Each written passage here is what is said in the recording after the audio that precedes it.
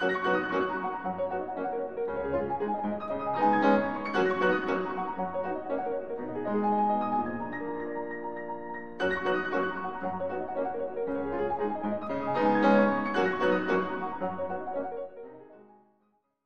back. Uh, so let us uh, start from where we had left. So coming back to the concept of two force members, what we saw is that like there are these different ways in which two force can happen. Now a two force member did not have a particular shape. In this case, it's a shape of a right angle. What we see is that the only requirement for something to be a two force member by definition is that that the force that the member is connected at one end by a pin, at another end by another pin, okay? And there are no forces in between. No moment, no force, nothing. And the self weight, okay, which is also a force in between passing through the center of gravity, is taken to be negligible. Why? Because the other forces involved are typically much larger when compared to the force from the weight. Now note that in a two force member, suppose at the end, okay, because it's a pin, you can have a force in any arbitrary direction. At this other end, because again it's a pin connection, the force can be in any arbitrary direction. But note that if the forces are in the arbitrary direction, equilibrium will not be satisfied. So suppose the forces are in equal and opposite direction, then they will cause a couple because of which the link will not be in equilibrium. So the only way in which when you have a link which has only forces at two ends, the only way this can be in equilibrium is the two forces act along the line joining the two ends. So the force can be either inwards or it can be outwards. So this is what we mean by a two force member and what does a two force member do? That many a times if we recognize the two force members, then the problems as we will see are drastically simplified. Okay. Now this is the concept of hydraulic cylinder. So most of us have seen hydraulic cylinders in many uh, sites, for example, when you're digging trenches, okay. Various places you will see these hydraulic cylinders. Now what do hydraulic cylinders do is that typically they have an extendable arm and that extendable arm is connected to different parts of the structure and that arm can either extend or contract in order to uh, get uh, the parts of the structure in different configurations as per the requirement. Okay? Now hydraulic cylinder also has some weight, but, but the forces that are involved at the ends of the hydraulic cylinder are much larger when compared to the weight of the hydraulic cylinder, so that can also be safely considered to be a two force member. Okay? So with this, let us move on to this problem, okay? Pretty interesting problem. What we have here is we have an assembly which is taken to, for example, raise or lower a car onto a platform. Means when this assembly is such that this, this link is completely inclined, what you can say that the car can move onto the ramp placed here, okay? And what you can do is that you can raise it up, okay? And um, for particular servicing.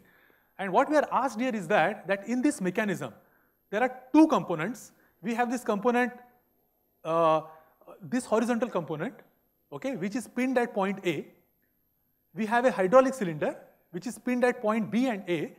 And we have a link, okay, which is supported at the ground at D and C and B. And what we are asked is that, that given that this point is where the effective weight of the car acts, okay, and the weight is given to us, all the necessary dimensions are given to us. We are asked to find out what should be the force in this hydraulic cylinder AB to keep this configuration in equilibrium, okay, in this uh, given position is what we are asked to find out. Now the typical question, the question we'll ask ourselves is this. How many free bodies do we have in this problem? How many unknowns? So we have one free body diagram, this horizontal member, two second free body diagram, DCB, and third, which is the two force member, which is AB. But two force member essentially just means one unknown. What is the force in that two force member? So the total number of unknowns present in this system is two unknowns here. It's a pin support, horizontal, vertical, both are constrained. So we have two unknowns. At point, we have a roller support. So only degree of freedom constraint is the kinematic degree of freedom in the vertical direction. So that will give a reaction, vertical. Point C is a pin, two more, okay? And this is a two force member. So one, two, three, four, five, six. We have six unknowns. How many free body diagrams can we draw? How many free bodies we have? This one, win two. So we have two free bodies, six unknowns. So three into two, it's a good, it's a statically determinate system. But now the question is that, is there a nice way? Because for example, we can draw various free body diagrams. I can draw the complete free body diagram, I can draw a free body diagram only of this link. Then what is the appropriate free diagram to draw? Okay. And how do we proceed about it? This is a very straightforward problem. But let me ask you one question. I need to find out the force in the hydraulic cylinder AB.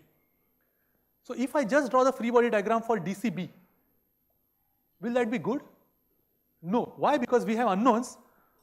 1, 2, 3, 4. We have 4 unknowns, 1 free body diagram. Okay, so we can write only 3 equations, so not a good idea. So we ask ourselves a question.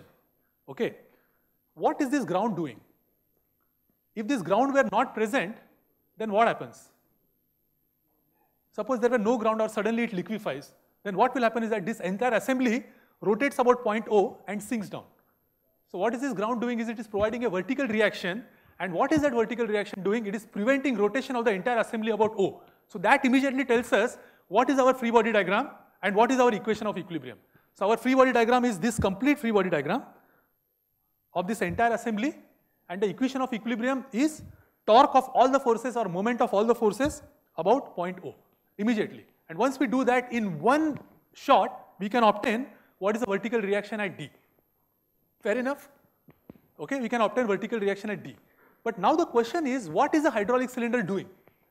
Suppose we don't have the hydraulic cylinder. We have the ground, but the hydraulic cylinder is not present. Then what do you think will happen? Then this link DCB will rotate about point C because this reaction, there is nothing to balance the torque provided by this reaction about point C. So what is the hydraulic cylinder doing? That it is preventing the rotation of this link DCB about point C. So immediately then we know what is our next free body diagram.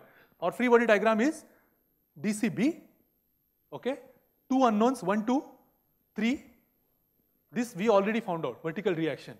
Okay, and we take the torque about point C, we immediately know what is the force in the hydraulic cylinder. So what we have done is that, that rather than brute forcing which free body diagram to draw and so on, we just went step by step. That what is the purpose of every component in this structure? The ground is providing vertical reaction without which the entire system will rotate about point O.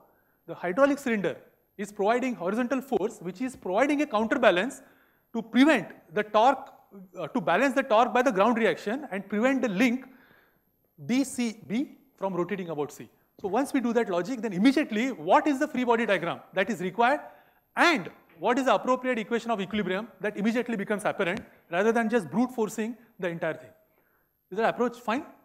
Is the idea okay? So if you just look at the solution, okay, you can have a look at this and you can, whatever I had just discussed in words, essentially it is put into equations and from that we can find out what is the force in the hydraulic cylinder. Is the approach fine? Any question? So let us move on to the next problem. It's a very similar problem. Now this is an assembly. Okay. What does this assembly do? Okay. So by the way, this is used in still this is real life. I should have put the picture. I forgot to put it. It's still used at many small domestic airports to tow aircrafts. So what is done is that, that this hook is connected to the aircraft and from the hangar, the air, aircraft is like towed to and fro. Now this mechanism in this particular position, what is happening is that no aircraft connected, just the mechanism just lying like this. What we have is we have a tractor, okay, which is pulling on this mechanism. How is this tractor connected to the mechanism? That there is a slot here, okay? So there is a big slot and uh, this one, so if I draw it here, if I look vertically, what I see is that at point E, there will be a slot like this, okay, two of them, and through this hole, okay, this, there is a, uh, if I look from the top, okay, it will look like this. There is a hole here, okay, hole here, another hole here. So what you do is that you put a link like this, and so with that one, you connect to this tractor this entire assembly. So it is acting essentially like a hinge joint. Why? Because there is enough gap such that the translation in the horizontal and vertical direction is prevented, but the rotation is not, uh, uh, but the rotation is still free. At least infinitesimal rotation is still allowed. So it is essentially acting like a pin support or a hinge support, and it is providing two reactions, Ex and Ey. What we are asked to find out that in this particular position, okay, what is the force, okay, that is provided by this hydraulic cylinder to keep this entire assembly in equilibrium. Now what we note again is that, that if there were no ground, what will happen? This entire assembly will try to rotate about E So for this free body diagram, okay, if I draw this free body diagram here, this is the weight, this is the reactions at E. If we balance the moment produced by this W and FB by about point E, we'll immediately get what is the reaction. But now what is happening? Once this reaction is being produced, if there were no hydraulic cylinder, like in the last problem, this assembly, this triangle ACB, will tend to rotate about point A.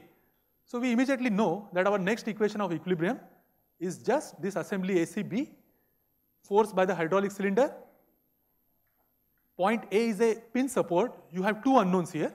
So two unknowns, three unknowns, this we already found. So one free body diagram, three equations we can write, three unknowns, it is a solvable problem. And we don't even bother about these two reactions because we are only interested in the force in the hydraulic cylinder.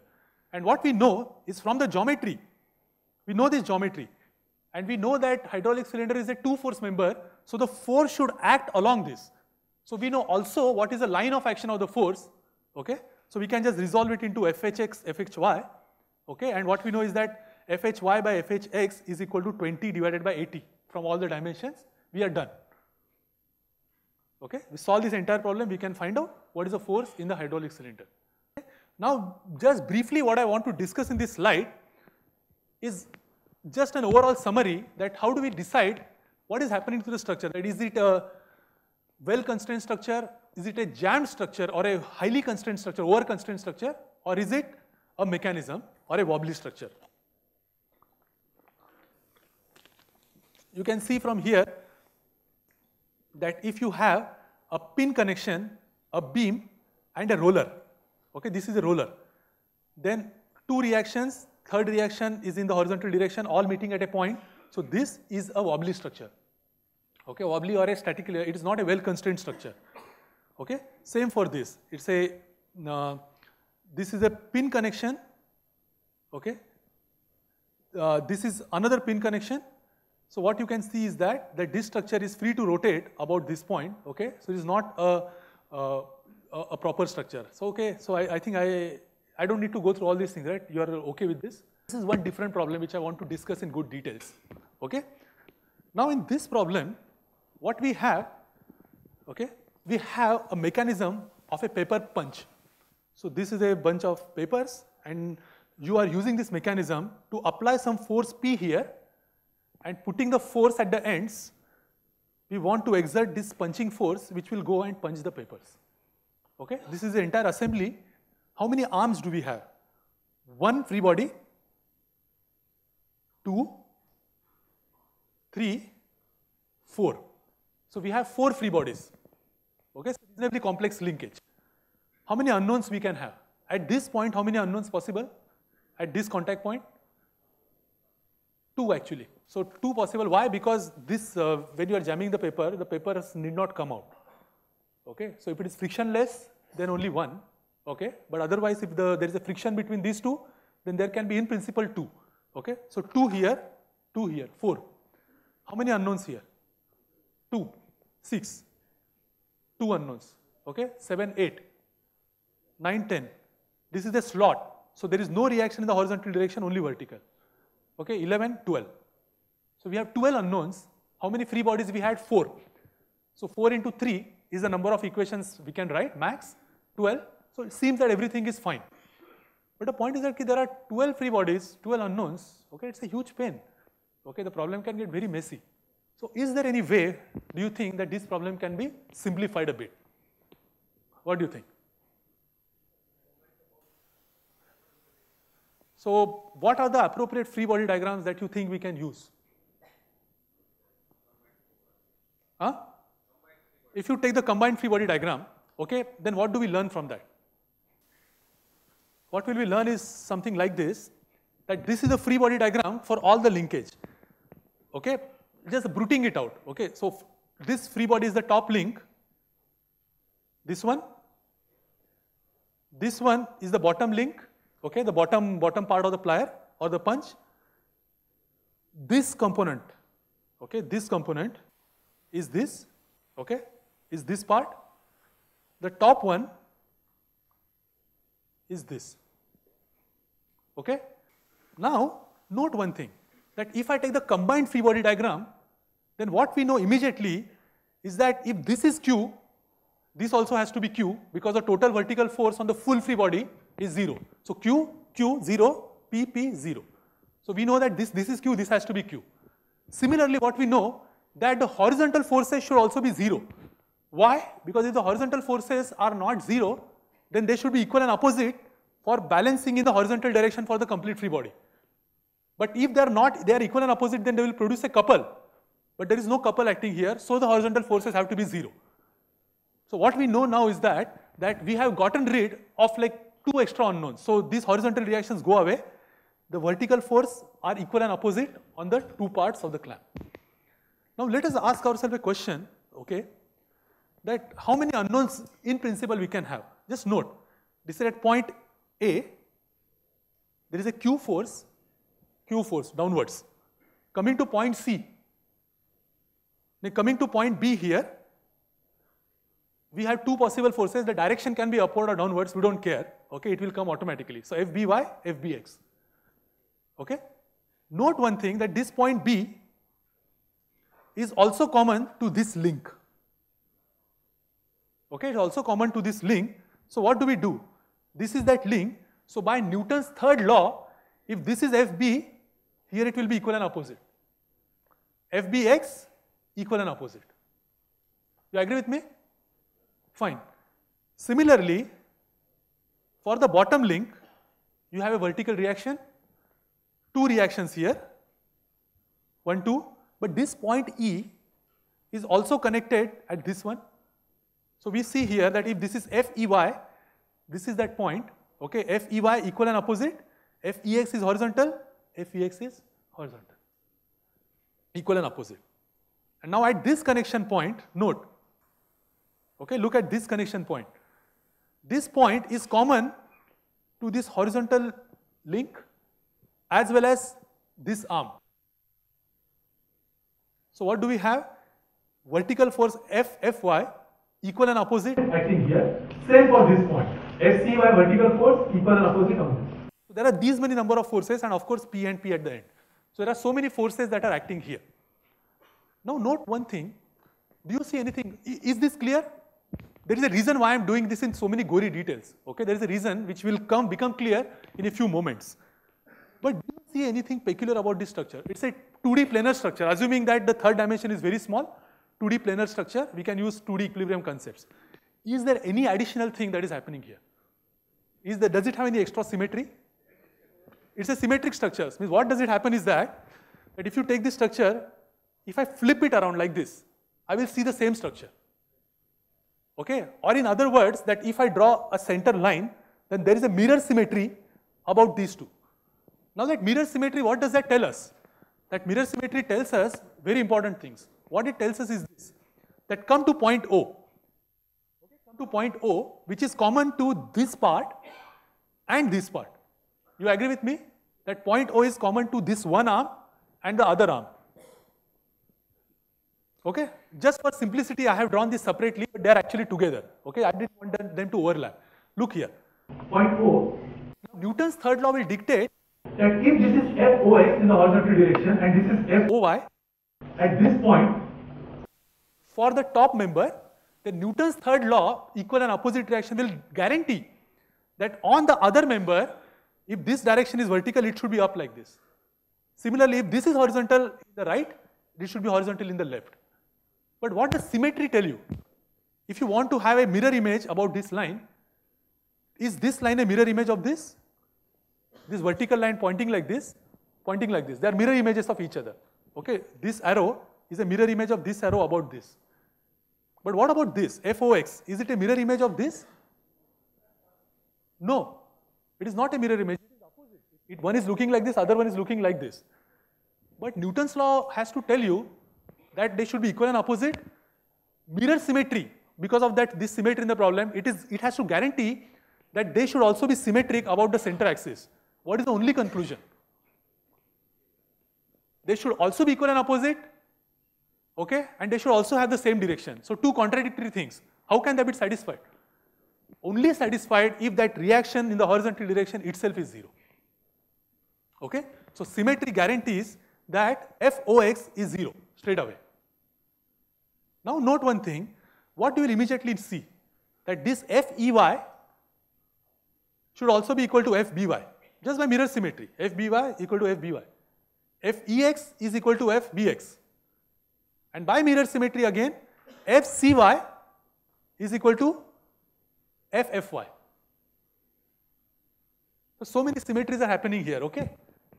You, is this fine? So all these symmetries are essentially reducing the number of unknowns in the problem. Now how is, the, how is that good for us? If I decide to draw the free body diagram only for this top part, okay, just 1 and 2, okay, how many unknowns are we exposing? 1 here, 2 here, 3 here, 4 by symmetry, just one extra unknown, 4.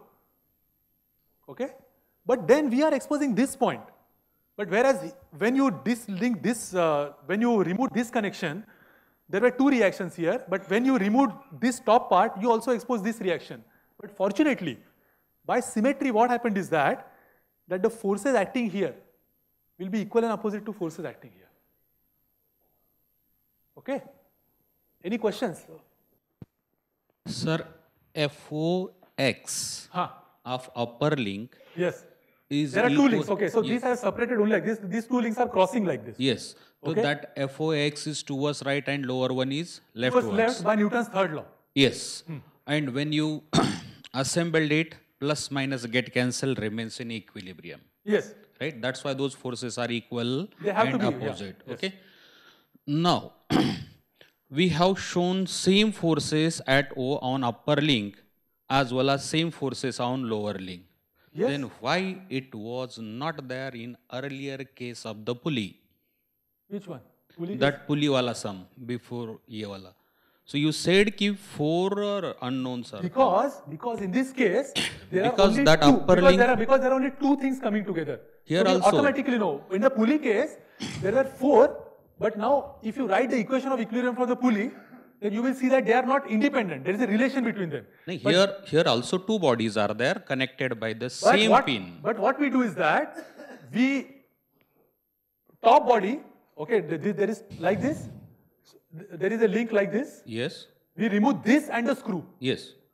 Forces from upper as well Yes, as lower but- coming but- on the same axle. But this just as earlier. case. Yes. Listen. So we take this and the screw out, one free body. So what we have done essentially is that essentially we have removed only one portion.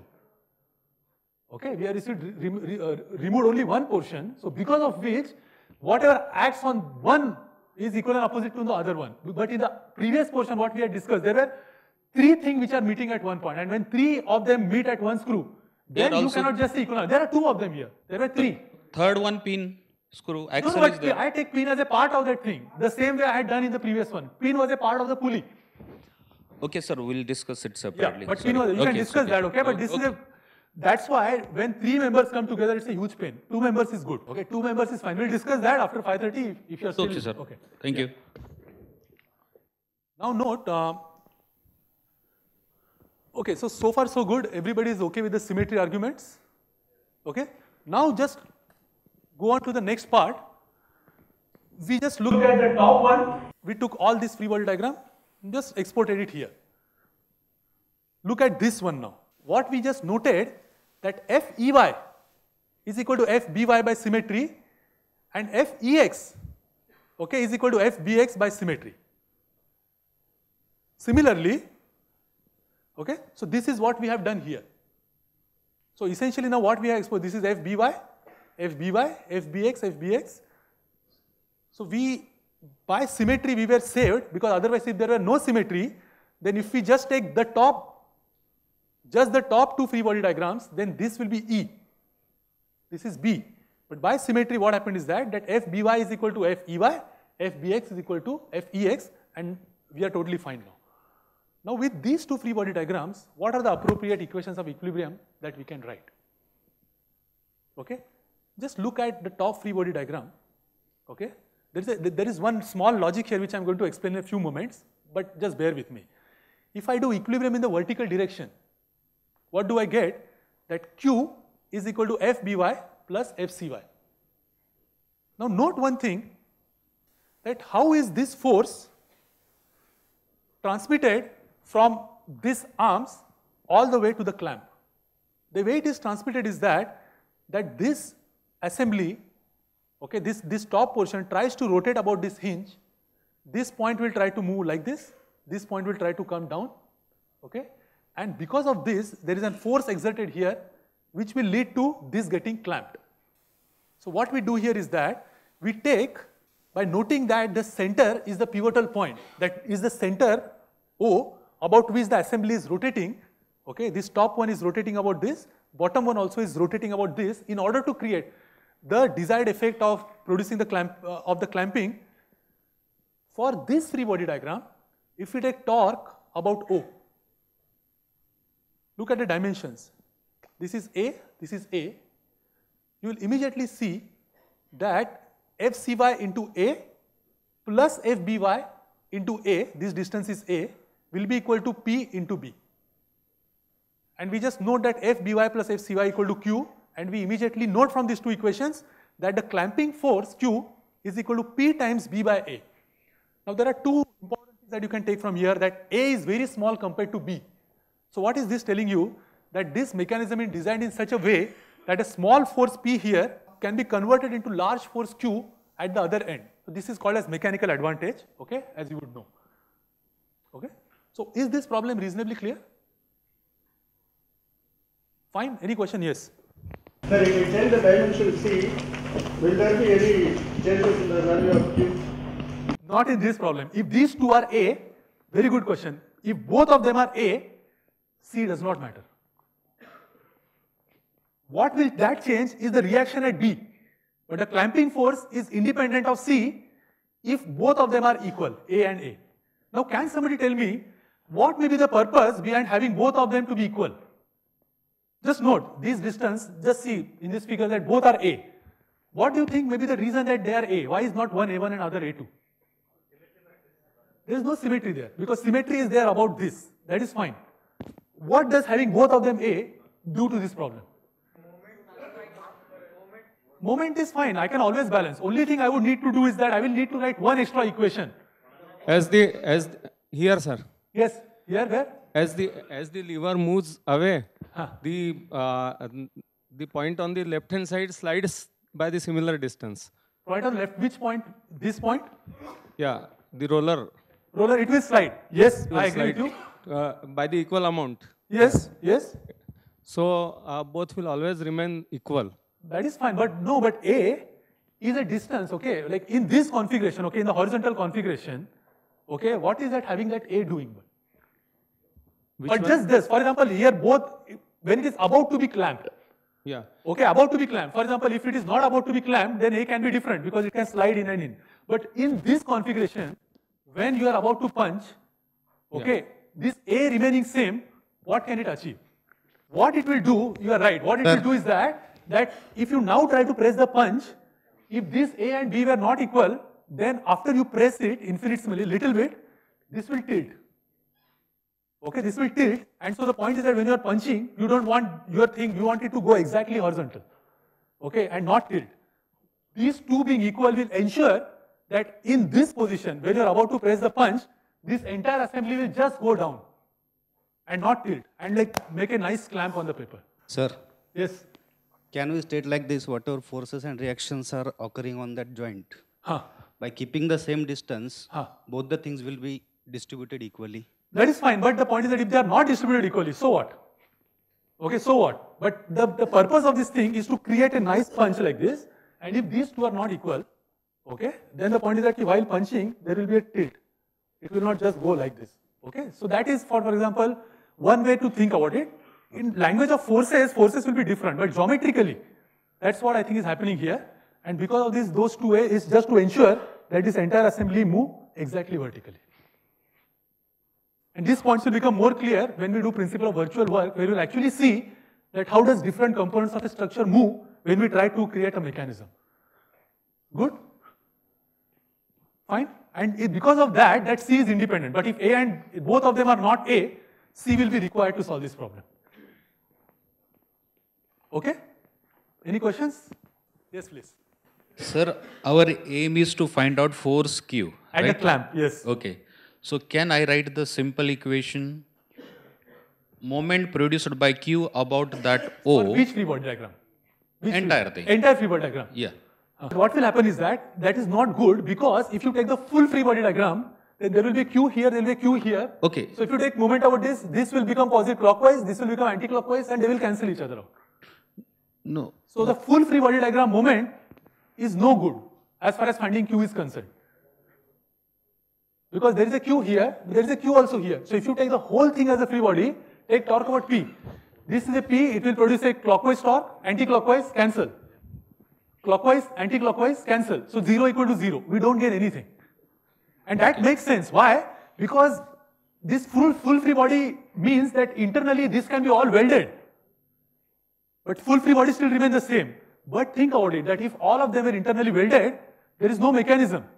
So that is one way for us to know that the complete free body diagram is not a good thing. Because if you weld everything, free free body diagram for the complete thing will not change. Okay. Okay, but we know that if you weld everything, then there is not mechanism. Okay. So that's the reason we know that we have to go to internal details and just the full free body diagram is not good enough. Okay. Sir, uh, can sir, uh, uh, this answer could be like this. Uh, Q is equals to P into B upon C plus A. No, it is only A. C. C plus A. No, it is not. Because moment produced by that, no. It is not. If you do this problem, it will be PB divided by A. You solve it, okay? Okay, sir. And then you tell me. If I am wrong, I will correct it, correct myself in the next class. I don't think so. Okay, so any question? Fine. Okay, this is a very interesting problem. Okay, what we have, okay, so these are one of the few of the problems we had given in our exams, okay, final exam. Is a very nice problem, it's from Meriam Statics, okay. If you want to solve really interesting problems in EMAC, get older version of Meriam, not the newer version. That version doesn't have that group problems. The older version, 1972 edition, 1978 edition, that has fantastic problems. So what this problem is as follows. So we have a beam AB, whose weight is given 300 kg. Total length of the beam is 6 meter, the entire assembly. Now what is being done is suppose we want to hoist this beam up, take this beam up. Initially it is on these two supports, we want to take this up. Now how are we taking this up? We are having an assembly where there is a, uh, there is a ring C through which we are passing ropes, okay? And we form a nice triangle ACB. The string has a length of 4 meter, 4 meter, and length of AB also is 4 meter. Now what we do is that we apply a force on the top and when the force at the top okay, becomes equal to W, you can lift this beam off the two supports. You agree with me?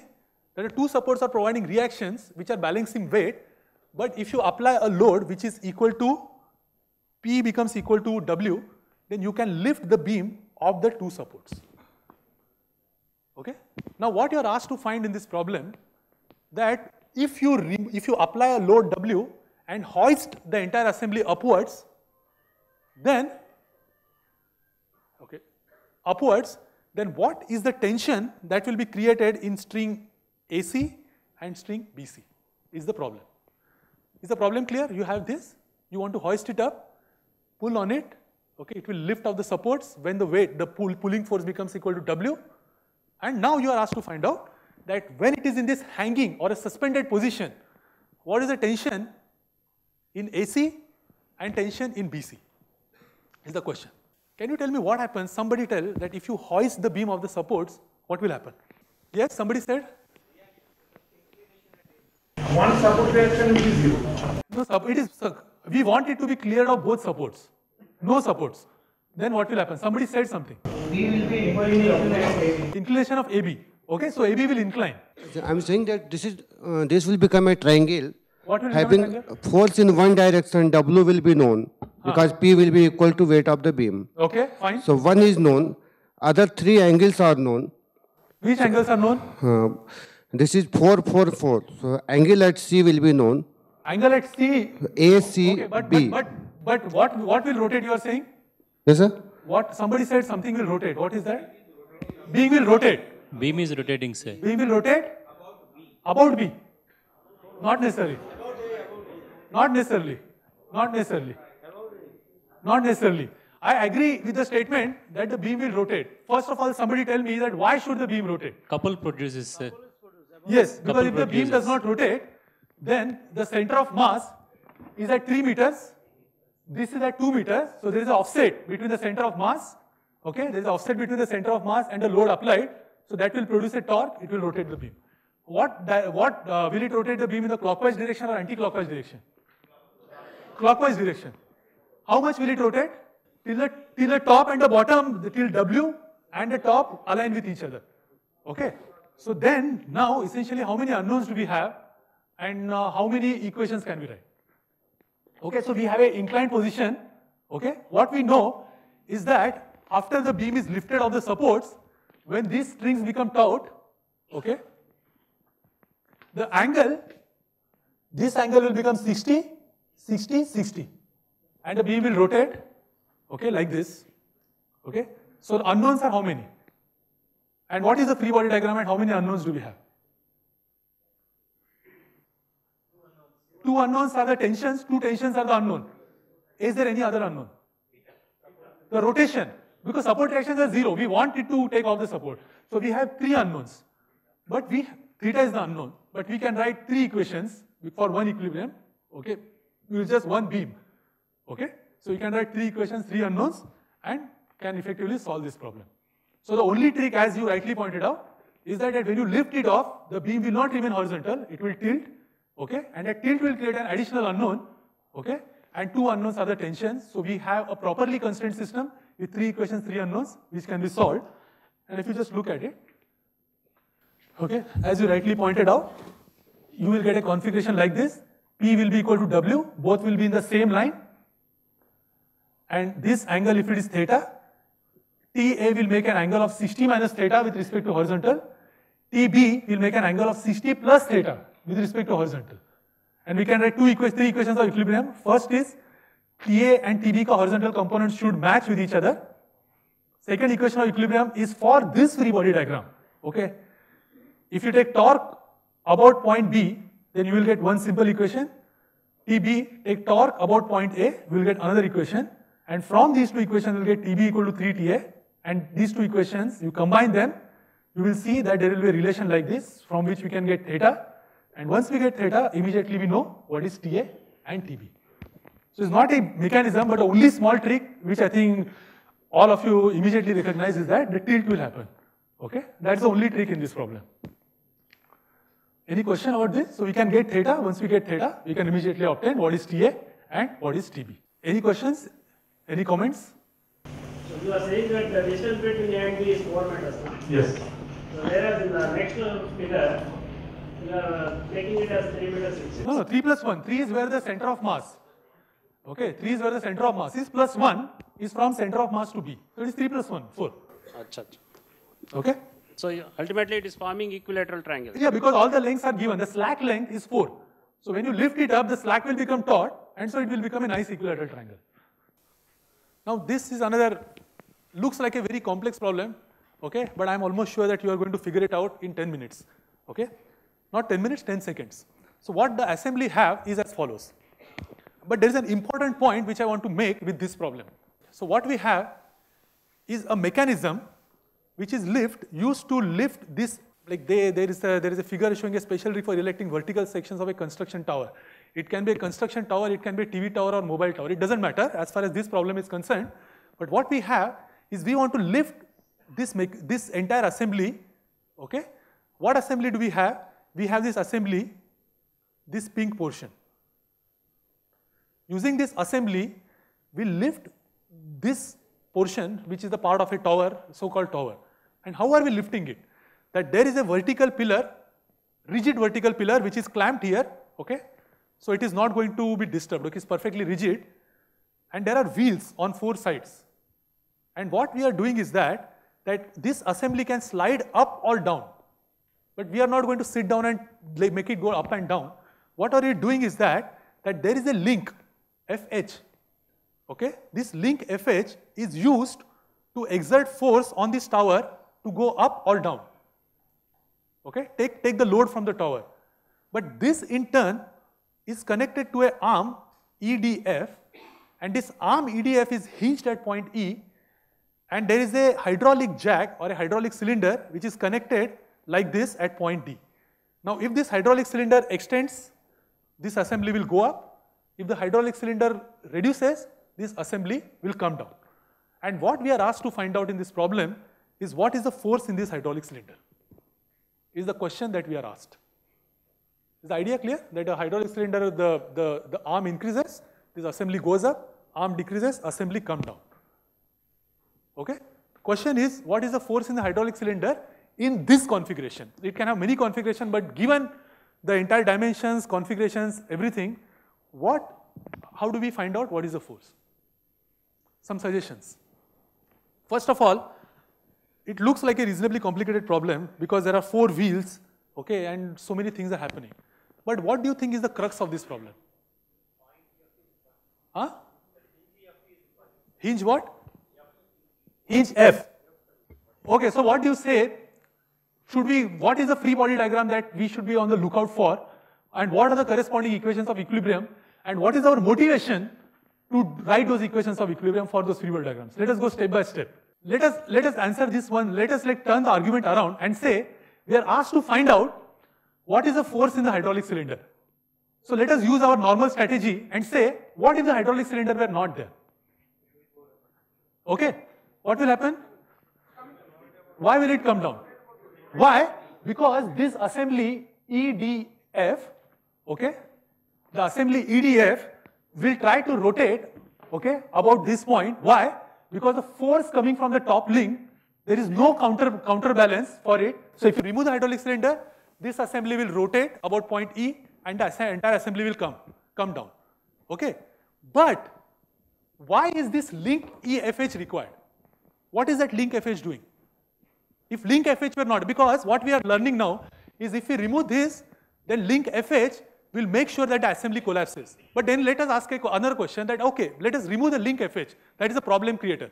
But if you remove FH, then what can happen? What will happen? Nothing. What is link FH doing? So that is the question. So what is link FH doing? How is it supporting the top one? If this link FH were not there, what will happen to this assembly? Will it topple? Will it, will it rotate? It will not rotate, but it will just slide down.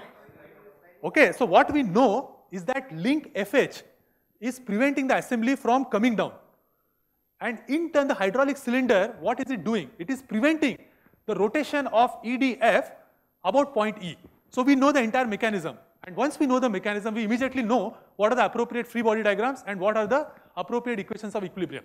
So we immediately know that even though the link looks complicated, instead of having four wheels, if there are 15 wheels, it doesn't matter.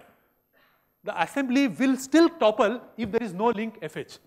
So we immediately know is that for the top free body diagram, okay, the top part, what we know is we need to take that free body diagram, these two rollers, they can only provide reaction in the horizontal direction, but there is nothing to balance equilibrium in the vertical direction. So the only equation of equilibrium we need to write is equation in the vertical direction. And from that, we can immediately find out what is force in FH. You agree with me? Okay, so that's we immediately know. So one line we can immediately find out what is the force in FH. All the dimensions are given to you, 1.753, so we can know what is the inclination of F. Okay, everything is given to you. We know what is the angle, we know what is the force in FH. And now once we know FH, we know that FH is trying to rotate the free body diagram EDF about D. Sorry, about E. So we need to take that free body diagram and write down the equation of equilibrium, moment equilibrium about point E and then we can immediately find out what is the force in the hydraulic cylinder. Is this, is this okay, the procedure? So the idea is this, that the problem will look for, for example, we can make this problem even more complicated by having, instead of having four wheels, I have like, like eight wheels, 10 wheels, okay, a huge assembly.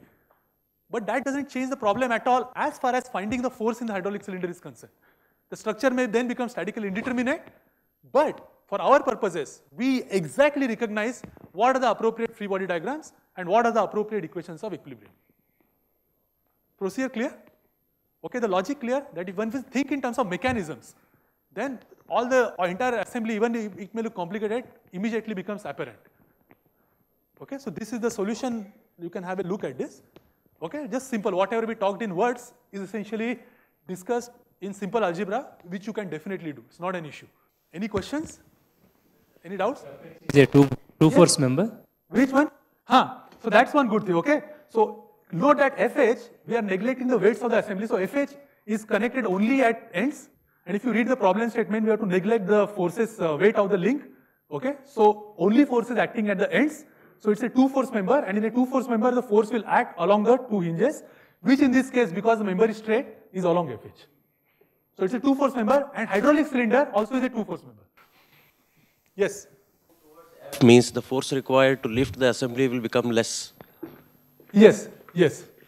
Yes. See, because as the moment or the torque is created about point. But then what happens is that, I agree with you that it will do that way, but then think about it from a mechanism point of view, view that in this case, if I want to lift this assembly, now for example, it's a question of what you want to do. If you think in terms of displacements, if I want to lift this assembly, if I increase the length of this, a tiny increase here will lead to a huge increase in F. So by tiny movement of hydraulic cylinder, you can lift this assembly by a whole lot. But as you said, you are right, that if you move it here, then what will happen is that the, the cylinder arm can only be of a certain length. So you need to, just to lift the assembly, the amount of extension it need to have will be far more.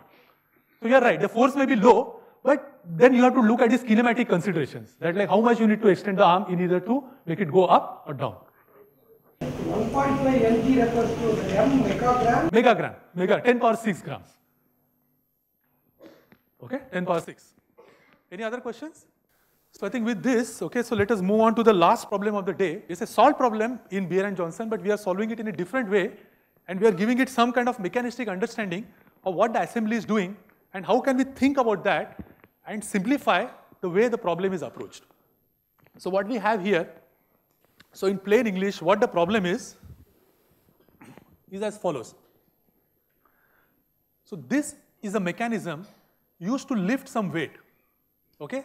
So what we have is that we have a platform here, okay, a wide platform, and the platform, what it has is that on two sides, we have two assemblies like this. One assembly on one side, on the other side, there is another assembly. Okay? So if the weight that we are lifting is W, then if you recall our arguments about symmetry, then one half of the side will have a weight W by 2, which it is sharing. So essentially it's a 2D problem. Now in this 2D problem, what we are doing is the assembly is like this. There is a base which is rigid. This platform is hollow from inside. What we are doing is that there are these wheels, two wheels connected by a link. And on this link, we have EB and GC which are pinned.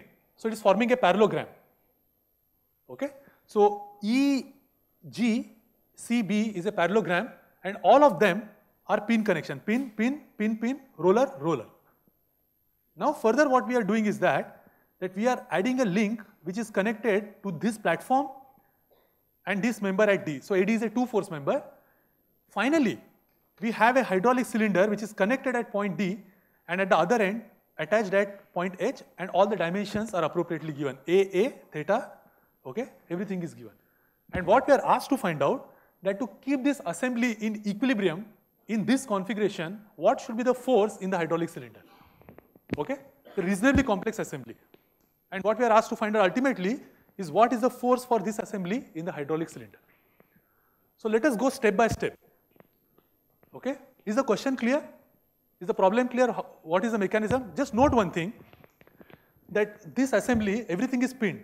So the angle can change. So if you want to lift the assembly, you increase theta. If you want to make the assembly go down, you decrease the theta. Okay? Now the question we want to ask is, what is the force in the hydraulic cylinder? Is the question. So let us uh, think about the problem in different ways. So can somebody tell me what may be the purpose of having this link AD? So let us always ask that what is the purpose of putting some links? What is AD doing, you think? It's a two force member. It raises the load, sir.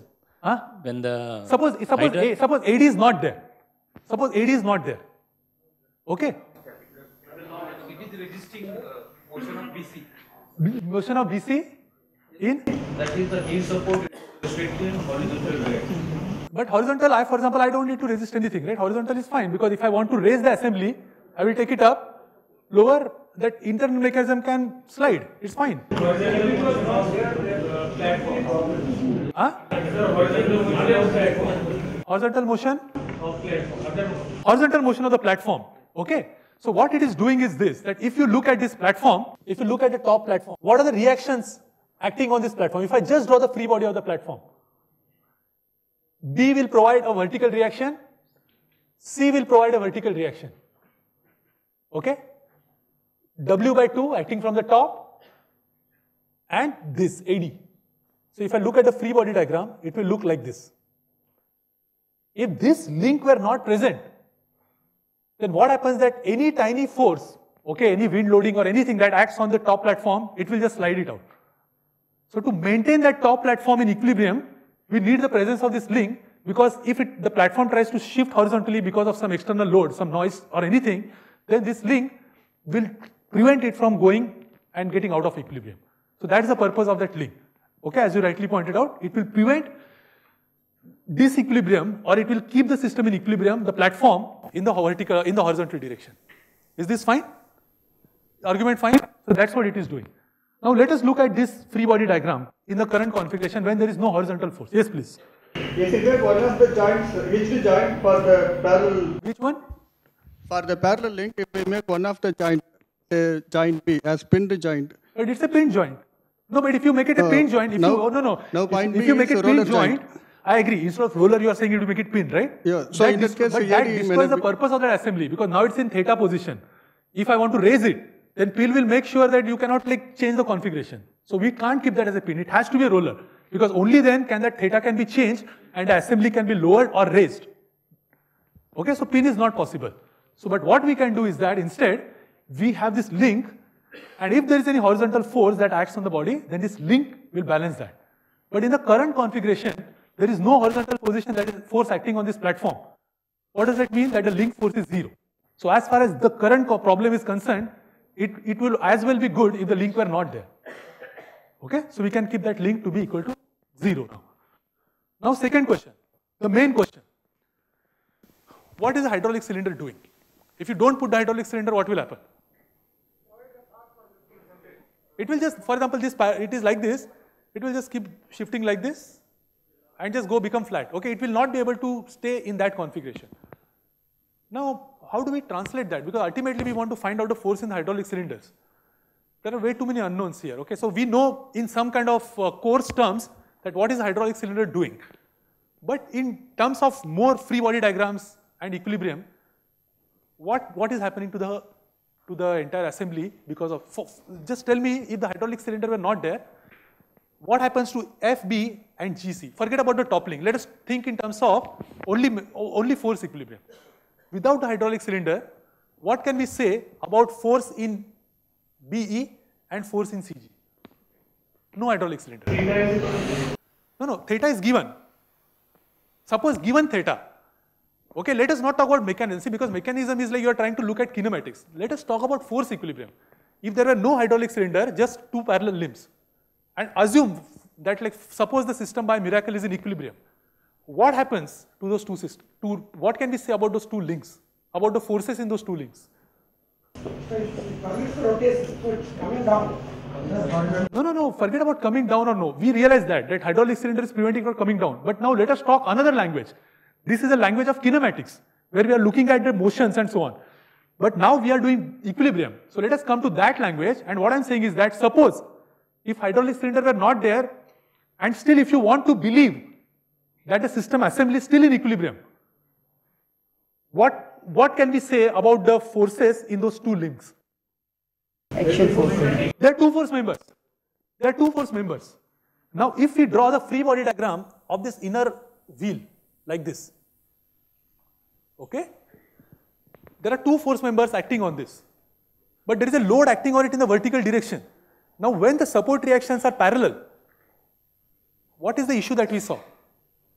Both are on the same direction. Both are is parallel, so eh, if there is any force acting on the system which is perpendicular to them, you are destroyed. That's what is happening here, that if there were no hydraulic cylinder, those two links will be parallel, there will be two force members, but there is still a vertical force acting on it, which has a component in a direction perpendicular to those two. So the system will not stay in equilibrium. So what is that thing doing is because by providing a force in the middle, this, this link what it is doing, hydraulic cylinder it is doing, it is making sure that one of the members is not a two force member, okay? And when it is not a two force member, what does that mean? That it can have two unknowns. It can have one reaction, two reaction. But now what we do is that instead of resolving the reactions in vertical and horizontal direction, let us say that the two reactions are provided along and perpendicular to the length of the link. Just for our convenience, because that's what we saw, that without a hydraulic cylinder, the force will be along the member. Because of the hydraulic cylinder, the member is no longer two force, so it will have another component which it can, which it can generate. You see the point? See the point? Any question, any doubt? Yes, please. If I go to the previous one, yes? Just say here point A, B, D are fixed. That is not going to change. Joint what? Joint A, A, B and A, B and D, D. Yeah. So if you apply the force by the jet, then it will not move No, no, but the point is this. because point A, B, D is fixed. It is not going to change. What it can do is this, that for example, that AD, na, it is not fixed, it is hinged. It is hinged. Point of A, B, D. That is fine. But that angles can change. So because of that, it can accommodate that motion. They if? But, but the angle can still change. The distances and the length of the triangle are constant. But the angles between those three can If change. the point A, B, D are fixed, then how the angle change? B and C. But there are pin connections, na? The length of the, the triangle hai, you can have a triangle with three sides, but I can always deform the angles. No, but it will not allow. B and C are roller support. What? No, no, but he is, no, no. So B, B, so uska distance can change, na? A, B, because it's a roller support, that angle can change, that distance can change, right? So both that distance can change and the angles can change. Fine. No, no, it's a, because without roller support you can't even move. Okay? Now, so, so is the entire argument clear what we are trying to do at? So what is this hydraulic cylinder doing? The hydraulic cylinder is ensuring that this member doesn't remain, the member EDB does not remain a two-force member and now it is straightforward. What we do is that for this assembly of wheels, we have two unknowns, 1, 2, 3. And RB and RC are also unknown, but what we know is the sum of RB and RC by equilibrium for the top body should be equal to W by 2. Pardon, okay, I have written W, say it's W by 2. So how do we find out what is FB2? Just take equation of equilibrium in the inclined direction, this direction. So what you will see is that, that if this angle is theta, this angle is also theta. So for this free body diagram, equation of equilibrium, sum of all the forces along this direction being equal to 0 will immediately tell you that FB2 is equal to RB plus RC into cos theta, but RB plus RC is just W. So FB2 or the normal component of the force is W cos theta immediately. Yes, please. You have shown in the FBD, we have the force FAD, right? Huh. So that has to be equal and opposite, has to be there in the free body diagram too as well. Yeah, so free body diagram on the top is RB, RC upwards, look there. Then RB, RC will be equal and opposite on this one. No, no, I'm asking about the free body diagram too. Yeah. So free body diagram 2, what are you asking? I don't understand. Now the, uh, you have shown FB2, right, which is perpendicular to that link. Yeah, but that is, That is the resolved component perpendicular to, That is the component which we have uh, shown. yeah, yeah, yeah. Here I should show it the other way around. You are going ahead. Okay, here I should show it the other way around. There I can choose whatever direction I want to, right? That direction is given to me. If it is opposite, it will come out to be negative. I have made a mistake in the third free body diagram. Okay, that I realize now. Okay, but as far as that one is concerned, what I'm saying is that this, this member is connected to the pin. If you remove this to draw the free body diagram, instead of writing fx and fy, I'm writing it fb1, fb2 and fb1. Two perpendicular direction. What is so special about horizontal and vertical? I can take my x and y axis in the inclined way. And the reason, the reason we did that was for the simple logic that if there were no hydraulic cylinder, see our entire motivation is to find out what is the force in the hydraulic cylinder. If there were no hydraulic cylinder, okay, if there were no hydraulic cylinder, then there will be only FB1, there is no FB2. because this becomes a two force member. But the presence of the cylinder made this prism uh, also created this FB2. And that FB2 is now ensuring that for this free body diagram FBT2, okay, the reactions are not just parallel, but there is also a perpendicular component. And we can write down equation of equilibrium sigma f in that inclined direction to be equal to 0, which will immediately give you what is FBD2. What is FB2? Is the logic clear?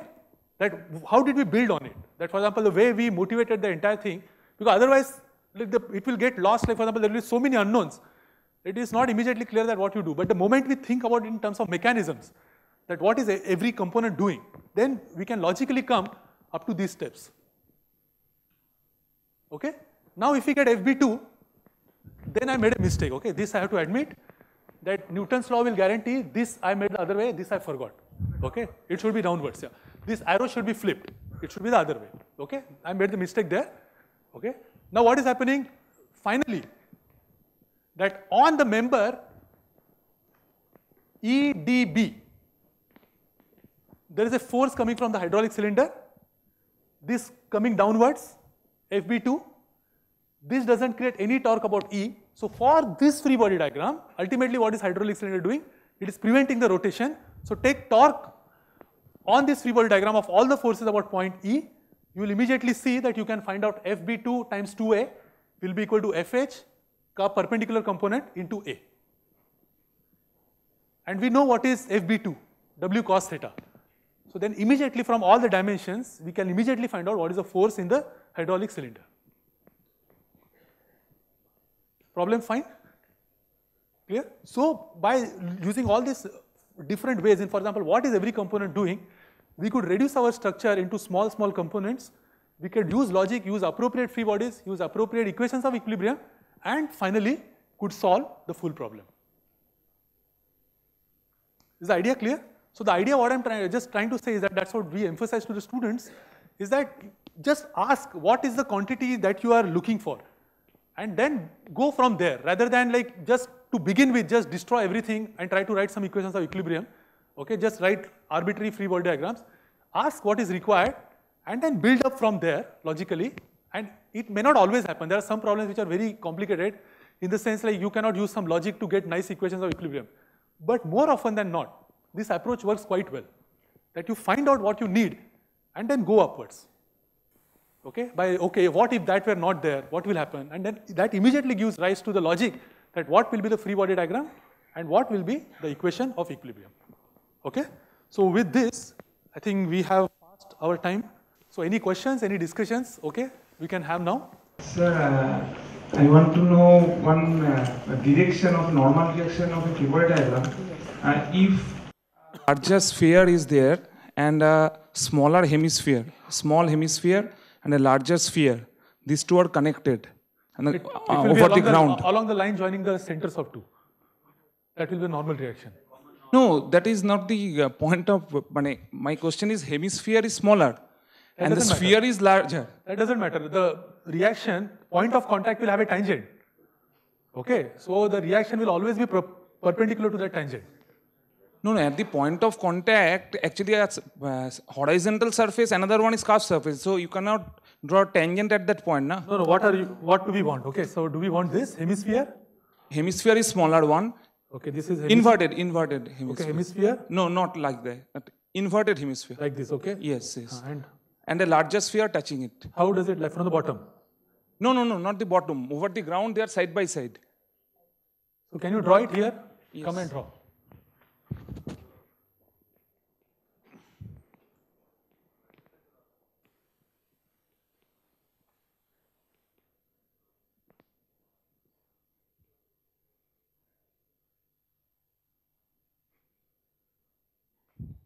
And what do you want?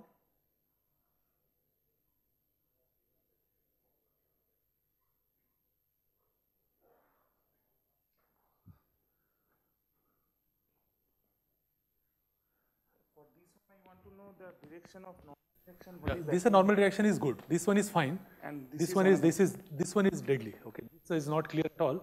But for this one, okay, what you can do is that for this particular sphere, this is the point of contact. Okay, let us zoom in here. Let us say this is A, this is A. Then if there is no friction, it has to be normal. So it should just act like this to the center. That is the only way the normal reaction can act in this case. Even the other one is an edge, you can just replace that with a, like any edge, you can say that it is a small radius of curvature. So there will be some kind of a tangent. But on the main sphere, there cannot be any tangential force because tangential force by definition is friction. By definition. So the reaction can only be like this at the point of contact. If this is the point of contact, we note that down. And from the point of contact, going into the center is the normal reaction. Along uh, just Hemisphere, opposite it to will be equal and opposite. Just equal and opposite. Yes, but this one is dicey because there is no ni- nice normal to define here. This point of contact, na, there are edges. This one is very dicey. There is no clear-cut way to define normal reaction there. Not that I know of. Anybody has any idea, they can say. But because here there is at least one nice surface. Here both surfaces are discontinuous. That, but those are all approximations. You can make an approximation, but here there is no approximation. It's exact. Okay, so thank you. Thank you.